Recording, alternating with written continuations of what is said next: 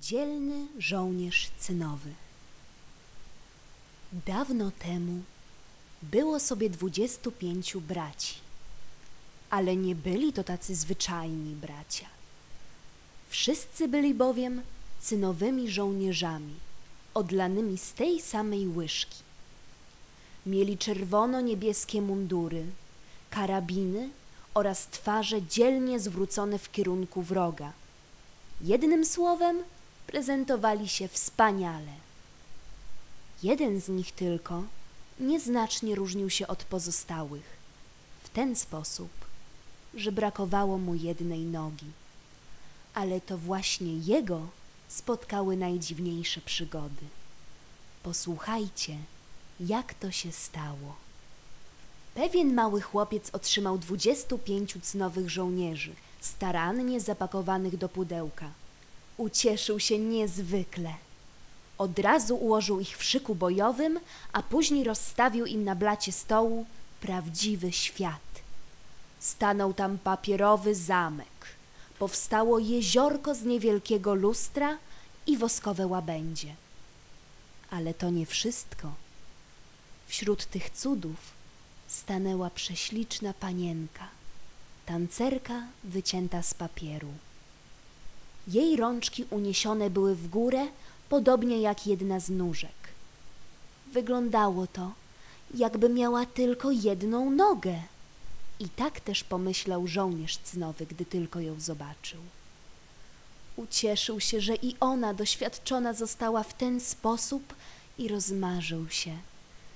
Ach, jaka idealna żona byłaby z niej dla mnie.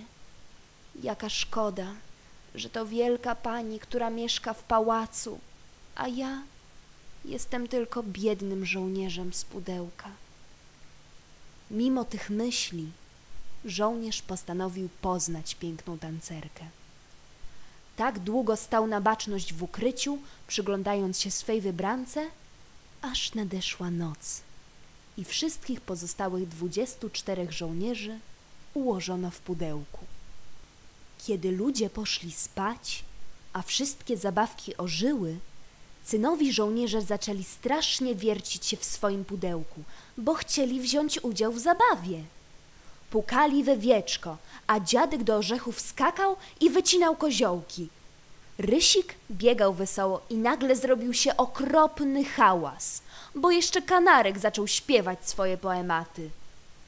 Tylko żołnierz bez nogi pozostał w bezruchu w swojej kryjówce i patrzył na tancerkę. Gdy nastał ranek i dzieci się pobudziły, któreś z nich znalazło żołnierza w jego kryjówce za tabakierką i położyło go w otwartym oknie.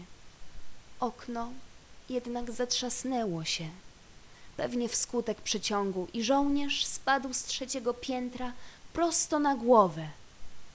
Służąca wraz z chłopcem natychmiast pobiegli na dół poszukać nieszczęsnego żołnierza. Ale niestety nie udało im się jego znaleźć. Musieli ponadto szybko wracać do domu, bo nagle z nieba spadł ulewny deszcz. Gdy się nieco wypogodziło, nadbiegło dwóch łobuzów, a widząc leżącego na ulicy żołnierza zawołali – O, żołnierz cynowy! Na pewno ma ochotę popływać! Po czym zrobili z kawałka gazety łódkę, włożyli do niej żołnierza i puścili łódkę po ulicznym ścieku. Żołnierz mknął wśród fal, a łobuzy biegły po dwóch stronach tej rzeki i śmiali się. Pokaż paszport! Pokaż paszport! Żołnierz zdążył pomyśleć tylko. Ojej, co to będzie? Gdy prąd porwał go do głównego kanału. I chociaż łódeczka mknęła jak strzała, a wokół panowały straszne ciemności, żołnierz nawet powieką nie mrugnął. Taki był dzielny i opanowany. W pewnej chwili większa fala zalała zupełnie papierową łódkę, która nasiąknięta wodą opadła na dno, a żołnierz razem z nią. Już w myślach pożegnał się z życiem, wspominając po raz ostatni piękną tancerkę, gdy nagle wielka ryba połknęła żołnierza. Ryba jednak została złowiona przez rybaków, sprzedana i zaniesiona do kuchni, gdzie rozkrojono ją ogromnym nożem.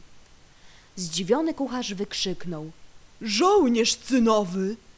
I wszyscy zbiegli się, by zobaczyć, czy to możliwe, by w brzuchu ryby znajdowała się zabawka? Jeszcze bardziej zaskoczony był sam żołnierz, który zobaczył naokoło siebie znajome twarze i sprzęty. Okazało się bowiem, że trafił do tego samego domu, w którym niegdyś mieszkał. Bardzo się wzruszył, bo trafił na stół z pałacem, przed którym stała papierowa tancerka. Patrzyli na siebie, ale nie mówili nic.